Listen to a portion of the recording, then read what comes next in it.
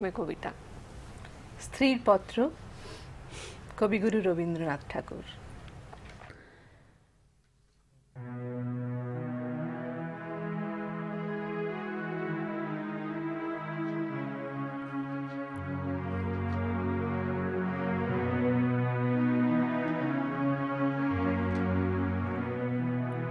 শ্রীচরণ কমলেশু আজ পনেরো বছর আমাদের বিবাহ হয়েছে। আজ পর্যন্ত তোমাকে চিঠি লিখিনি। আমি তোমাদের মেজ বউ। আমার মরণ নেই। সেই কথাটাই ভালো করে বুঝিয়ে বলবার জন্যে এই চিঠিখানি লিখতে বসেছি।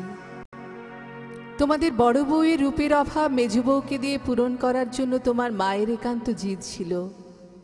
নইলে এত কষ্ট করে আমাদের সে গায়ে তোমরা যাবে কেন? আমার যে রূপ আছে সে কথা ভুলতে তোমাদের বেশি দিন লাগেনি। কিন্তু আমার যে বুদ্ধি আছে, সেটা তোমাদের পদে পদে স্মরণ করতে হয়েছে। মেয়ে মানুষের পক্ষে এক বালাই। আমার একটা জিনিস তোমাদের ঘরকন্যার বাইরে ছিল, সেটা কেউ তোমরা জানোনি। আমি লুকিয়ে লুকিয়ে কবিতা লিখতুম, সেইখানে আমার মুক্তি, সেইখানে আমি আমি। আমার মেয়েটি জন্ম নিয়েই মারা গেল। আমাকেও সে সঙ্গে যাবার সময় ডাক দিয়েছিল। মা হওয়ার দুঃখটুকু পেলুম, কিন্তু মা হওয়ার মুক্তিটুকু পেলুম না। মেয়েটা তো সন্ধ্যা তারার মতো ক্ষণকালের জন্য উদয় হয়েই অস্ত গেল। আবার আমার নিত্যকর্ম এবং গরু বাছুর নিয়ে পড়লুম। জীবন তেমনি করেই গড়াতে গড়াতে শেষ পর্যন্ত কেটে যেত। আজকে চিঠি লেখার দরকারই হতো না। কিন্তু বাতাসে সামান্য একটা বীজ উড়িয়ে নিয়ে এসে পাকা দালানের মধ্যে অশ্বত্থ গাছের অঙ্কুর বের করে। শেষকালে সেইটুকু থেকে ইটকাঠের পাঁজর বিদীর্ণ হয়ে যায়। আমার সংসারের পাকা বন্দোবস্তের মাঝখানে কোথা থেকে একটু জীবনের কণা উড়ে এসে পড়ল। তারপর থেকে ফাটল শুরু হলো। বিধবা মা মৃত্যুর পরে আমার বড় জায়ের বোন বিন্দু, তার খুঁড়তুতো ভাইদের অত্যাচারে আমাদের বাড়িতে তার দিদির কাছে সে যেদিন আশ্রয় নিয়েছে, তোমরা সেদিন ভাবলে এ আবার কোথাকার আপদ।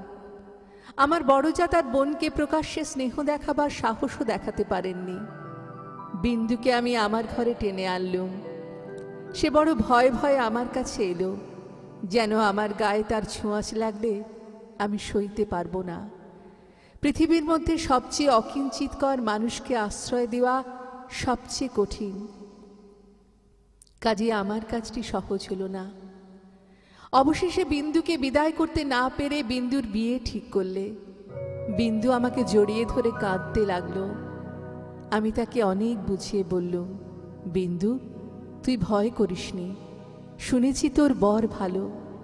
বিন্দুর জন্য সংসারে আমি অনেক লড়াই লড়েছি। কিন্তু ওর বিবাহ বন্ধ হোক, এ কথা বলবার মতো সাহস আমার হলো না। কিসের জোরেই বা বলব? আমি যদি মারা যাই, তো ওর কি দশা হবে? বিবাহের আগের দিন বিন্দু আমাকে বললে, দিদি, আমাকে তুমি তাহলে নিতান্তই ত্যাগ করলে? আমি বললুম, না বিন্দি, তোর যেমন দশাই হোক না কেন, আমি তোকে শেষ পর্যন্ত ত্যাগ করব না। সেদিন সকালে দেখি কয়লা রাখার ঘরের এক কোণে বিন্দু জড়সড় হয়ে বসে আছে। আমাকে দেখেই পা জড়িয়ে নিঃশব্দে কাঁদতে লাগল। ঘৃণায় রাগে আমার শরীর জ্বলতে লাগল। আমি বললাম, এমন ফাঁকির বিয়ে বিয়েই নয়। বিন্দু তুই যেমন ছিলি তেমনি আমার কাছে থাক। দেখি তোকে কে নিয়ে যেতে পারে? তোমরা বললে, বিন্দু মিথ্যা কথা বলছে। এদিকে তোমাদের সঙ্গে আমার বাদ প্রতিবাদ যখন বেড়ে চলেছে, তখন বিন্দু নিজেই ভাসুরের হাতে ধরা দিয়েছে। মাঝখানে পালিয়ে সে বিন্দু আপন দুঃখ আরও বাড়ালে। কিন্তু আমি যে তাকে কথা দিয়েছিলুম, যে শেষ পর্যন্ত ত্যাগ করব না, সেদিন সকালে দেখি, তোমাদের খুড়িমা শ্রীক্ষেত্রে তীর্থ করতে যাবেন বলে তোমাদের বাড়িতে এসে উঠেছেন। আমি বললুম, আমিও যাব। তোমরা আপত্তি করলে না। আমার ছোট ভাই শরৎ কলকাতায় কলেজে পড়ছিল। বুধবারে আমাদের যাবার দিন। আমি তাকে ডেকে বললাম, যেমন করে হোক বিন্দুকে তোকে পুরীতে যাওয়ার গাড়িতে তুলে দিতে হবে। সে বললে, ভয় নেই দিদি, আমি তাকে গাড়িতে তুলে দিয়ে পুরী পর্যন্ত চলে যাব। ফাঁকি দিয়ে জগন্নাথ দেখা হয়ে যাবে। সেই দিন সেই দিন সন্ধ্যার সময় শরৎ এসে বললে, কাল রাত্রিরে বিন্দু কাপড়ে আগুন ধরিয়ে আত্মহত্যা করে মরেছে। যাক, শান্তি হলো। দেশশুদ্ধ লোক চটে উঠল। বলতে লাগল, মেয়েদের কাপড়ে আগুন লাগিয়ে মরা একটা ফ্যাশন হয়েছে। তোমরা বলে এ সমস্ত নাটক করা, তা হবে। কিন্তু নাটকের তামাশাটা কেবল বাঙালি মেয়েদের শাড়ির উপর দিয়েই হয় কেন? বাঙালি বীর পুরুষদের কোঁচার উপর দিয়ে হয় না কেন? সেটাও তো ভেবে দেখা উচিত। আমি তীর্থে এসেছি। বিন্দুর আর আসবার দরকার হলো না। কিন্তু আমার দরকার ছিল।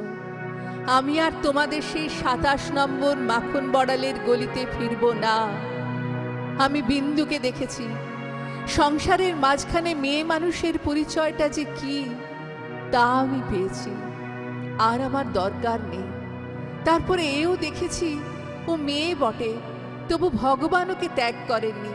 সেখানে বিন্দু কেবল বাঙালি ঘরের মেয়ে নয়, কেবল খুর্তুতো ভাইয়ের বোন নয়। কেবল অপরিচিত পাগল স্বামীর প্রবঞ্চিত স্ত্রী নয়, সেখানে সে অনন্ত। সেই মৃত্যুর বাসি এই বালিকার ভাঙা হৃদয়ের ভিতর দিয়ে আমার জীবনের যমুনা পারে যেদিন বাজল, সেদিন প্রথমটা আমার বুকের মধ্যে যেন বান বিঁধল। বিধাতাকে জিজ্ঞাসা করলুম, জগতের মধ্যে যা সবচেয়ে তুচ্ছ, তাই সবচেয়ে কঠিন কেন? তোমার বিশ্বজগৎ তার ছয় ঋতুর সুধাপাত্র হাতে করে যেমন করেই ডাক দিক না কেন। এক মুহূর্তের জন্য কেন আমি এই অন্দর মহলটুকুর এইটুকু মাত্র চৌকাঠ পেরোতে পারিনি? কিন্তু মৃত্যুর বাঁশি বাজতে লাগল। তোমাদের গলিকে আর আমি ভয় করিনি। আজ সম্মুখে আমার নীল সমুদ্র, মাথার উপরে আষাঢ়ের মেঘপুঞ্জ। তুমি ভাবছ, আমি মরতে যাচ্ছি? ভয় নেই। অমন পুরনো ঠাট্টা তোমাদের সঙ্গে আমি করব না। মীরাবাইও তো আমারই মতো মেয়ে মানুষ ছিল। তার শিকলও তো কম ভারী ছিল না। তাকে তো বাঁচবার জন্য মরতে হয়নি। মীরা তার গানে বলেছিল, ছাড়ুক বাপ, ছাড়ুক মা, ছাড়ুক যে যেখানে আছে। মীরা কিন্তু লেগেই রইল প্রভু, তাতে তার যা হবার তা হোক। এই লেগে থাকাই তো বেঁচে থাকা, আমিও বাঁচব, আমি বাঁচলুম। তোমাদের চরণ তলাশ্রয় ছিন্ন। মৃণাল।